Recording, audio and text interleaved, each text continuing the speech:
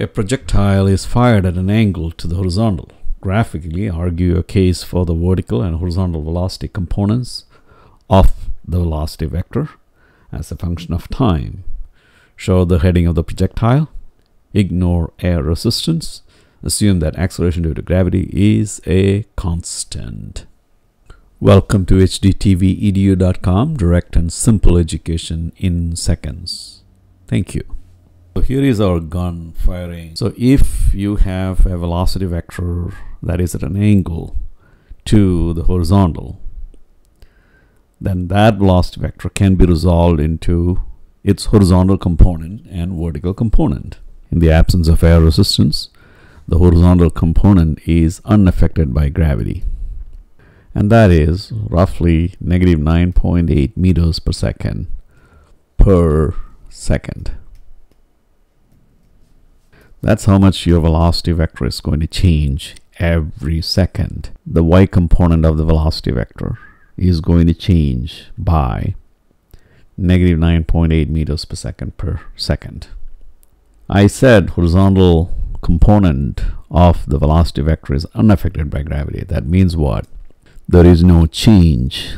No change for the velocity along the horizontal. That means the final horizontal velocity is the same as the starting horizontal component. The horizontal component of the velocity vector does not change. The horizontal component of the velocity vector does not change. Horizontal component of the velocity vector does not change. How about the vertical component of the velocity vector? Only the vertical velocity is affected by the acceleration due to gravity acceleration due to gravity points vertically down. It is towards the center of the earth. So the horizontal velocity vector or the horizontal component of the velocity vector remains unchanged. What about the vertical component of the velocity vector? The vertical component of the velocity vector, don't forget our velocity vector, it used to, our velocity vector was like that, right? So now we have an x component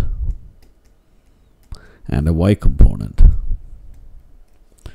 All right, and the y component is that much. All right, and let's assume this is the angle theta, horizontal. X is to the right, y is vertically up. Horizontal velocity is unaffected by gravity. What does that mean? That means we cover equal distances in equal intervals of time. This is the horizontal distance that is covered, assuming all the dots are done at equal intervals of time, then the distances covered should be, all right, so the distances along the horizontal should remain the same. The magnitude is a constant, so here is the magnitude this is the magnitude. And what is the direction? This is the magnitude. And what is the direction? This is the magnitude. And what is the direction? This is the magnitude. And what is the direction? And this is the magnitude. And what is the direction? So it is going to cover that much distance per unit time. So horizontal velocity is a constant. That means what? We cover equal distances in equal intervals of time. That is not the case along the vertical. The vertical velocity is going to be affected by acceleration due to gravity pointing down.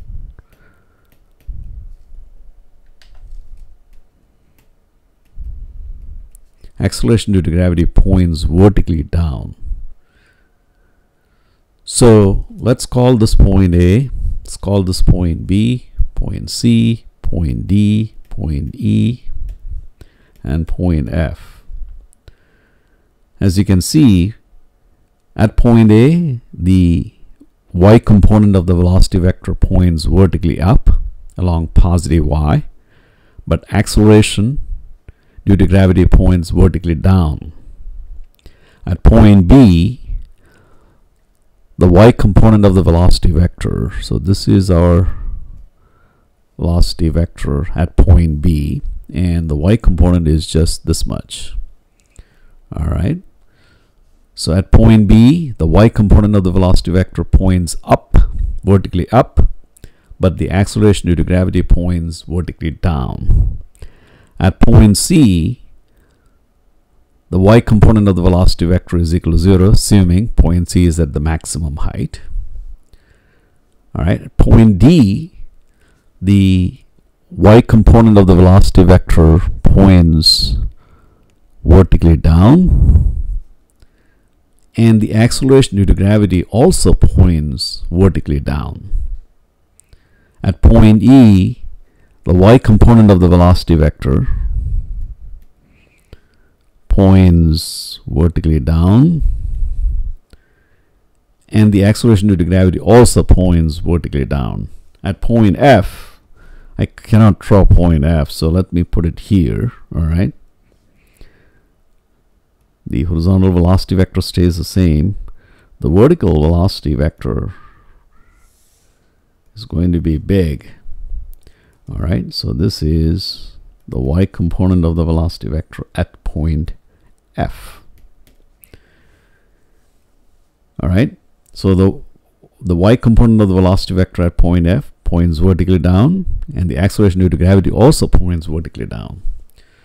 So while climbing up from A to C, you're on the way up. So while you're on the way up, what happens to the velocity along the vertical? It goes down in value until it reaches zero. Because the y component of the velocities and the acceleration are in opposite directions. At point C, instantaneously the speed comes to zero, vertical speed comes to a zero. But the acceleration due to gravity is still there, negative 9.8 meters per second per second. At point D, what happens? From this, from the velocity of zero, from the vertical velocity of zero, at point D, it is going to change to 0 plus negative 9.8. How about at point E? It will be negative 9.8 more than what we had at point D, assuming from point D to point E is one second. You can go on like that. At point F, assuming at point F it is one second later, it will be negative 9.8 more than what you had at point E. So at, at point C, the vertical velocity is equal to 0. At point D, the vertical component of the velocity vector at point D as in David is pointing down. At point E, the vertical component of the velocity vector points down. At point F, the vertical component of the velocity vector points down. So on the way down from C to D to E to F to whatever point you're interested, the velocity vector keeps increasing in value, in magnitude. So let's put it all together. Here is our velocity vector. Here is our velocity vector. It has a component to the right, y component that points vertically up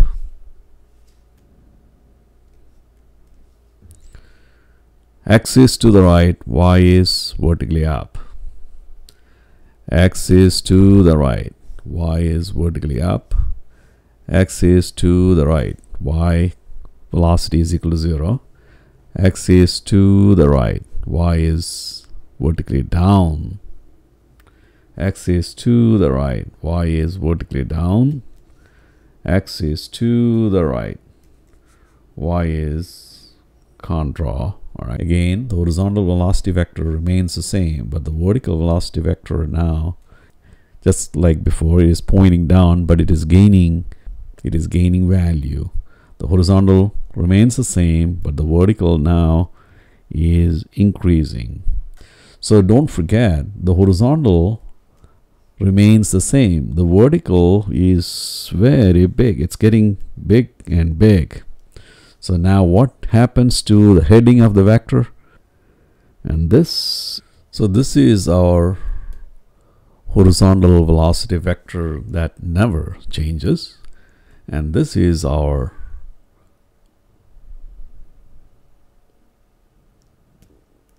vertical velocity vector that always changes why does the vertical component of the velocity change and increase in magnitude as it comes down? Because velocity the y component of the velocity vector and the acceleration and the acceleration the y component of the velocity vector and the acceleration are in the same direction. So what happens to the speed?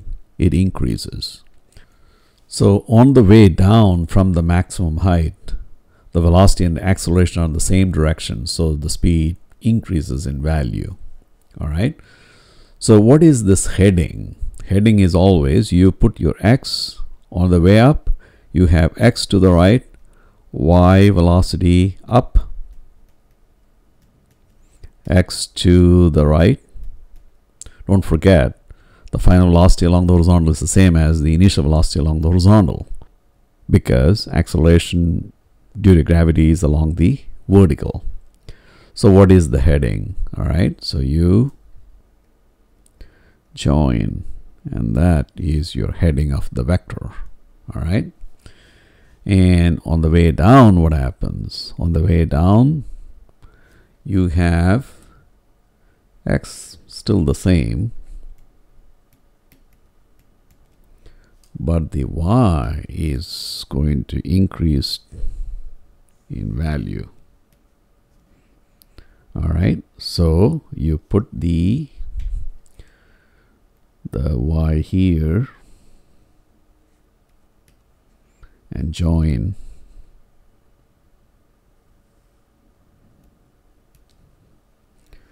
So this is your velocity vector